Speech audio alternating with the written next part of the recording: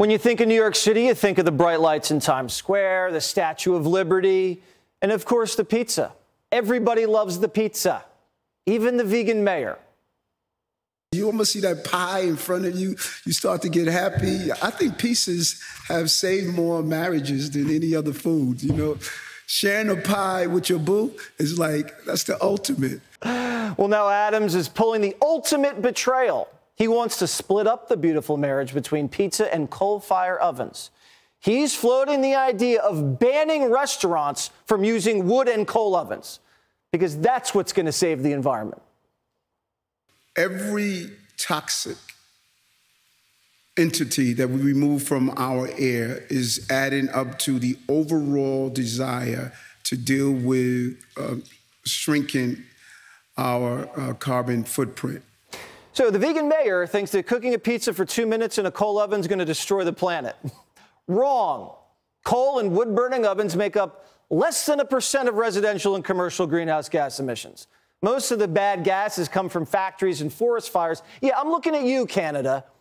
I got an idea. How about instead of going after mom and pop pizza places, you go after Trudeau, who just dropped a smoke bomb on us, and Adams just rolled over and took it. Now, New York already has gotten away with the gas stoves. Now they're going after the ovens? What are we supposed to do? Microwave the pizza? It's going to crush small business and it's going to crush everybody who loves good pizza. New Yorkers are giving City Hall a piece of their mind. You heard of the Boston Tea Party? Well, this is the Boston, New York, this is the New York Pizza Party. Give us pizza or give us death. Give us pizza or give us death. Can't have a small business. Can't have pizza. New York City is nothing without pizza. That pizza slinger, Scott LoBaido, joins me now. You are a hero. What would you like to tell New York City? Let me start off with this. Tomorrow, when the clouds are gone, I want you to look up in the sky. There's this big giant ball full of raging, furious fire, okay? And when she gets pissed off, when she's in a bad mood, whether it was a million years ago, 50 years ago, or yesterday, she controls the thermostat on this little planet. It's not the effing pizza. it's not my SUV. We got this little Hansel and Gretel chick. What, would she say? We Greta? were going to be uh, we were going to be gone last week. We were going to be gone. Al Gore, 2012, underwater.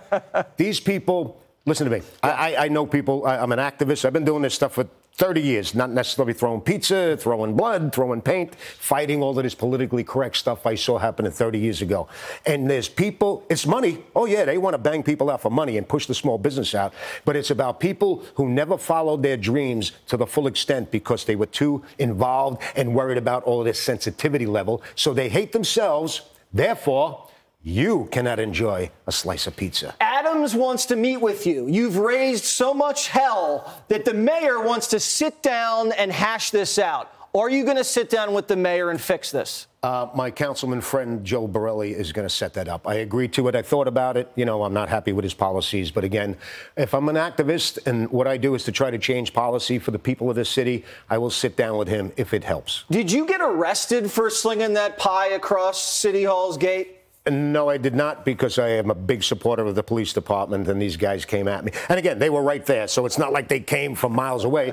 And they were like, Scott, we don't want to arrest you. And I was like, all right, I'll take the summons. We, we did what we had to do. And if I do meet you, uh, Mr. Mayor, I will, uh, I'm very reluctant to bring you a vegan pizza because I, there's no such thing. It's pizza. But I will. But if you ask me to bring pineapple, I'm going to be throwing pineapples at City Hall. Just letting you know that. Of all the things going on in the city, the overdoses, the migrant crisis, the gunshots. He's going after pizza ovens. You just can't you can't explain the insanity. Listen, what I did was a battle cry, what I always do. And the beauty is as funny as it is throwing pizza. I'm an artist. Now I use props. Visual stimulation. What was I gonna just draw a slice of pizza? There we go. You got one right here. Scream something. You got some props right here. You know, don't oh, I'm all fired up. Don't let me southpaw this, please. All right, you know what? This the cheese just slid right off this thing. It's not Staten Island pizza. It's good New York pizza. I would have brought you Staten Island pizza, but I was here in the city all day. All right, listen, cheers to the mayor. Do the right thing, Adams. This ban has got to go. Hi, everyone. I'm Brian Kilmeade. I want you to do me a favor. I want you to click to subscribe to the Fox News YouTube page. This is the only way that I know for sure that you're not going to miss any great commentary, any great news bites, any great interviews coming your way on Fox. You can get it all here on YouTube. So subscribe right now.